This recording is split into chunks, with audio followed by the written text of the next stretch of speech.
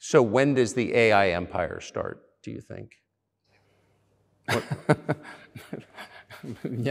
Answer them, you need to be an expert in big numbers, big data, and AI.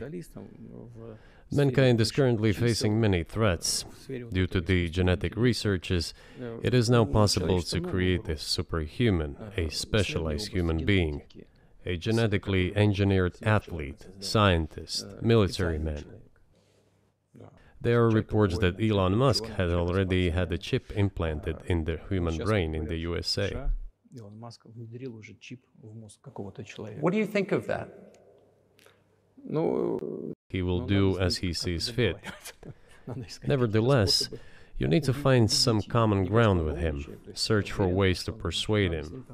I think he's a smart person, I truly believe he is.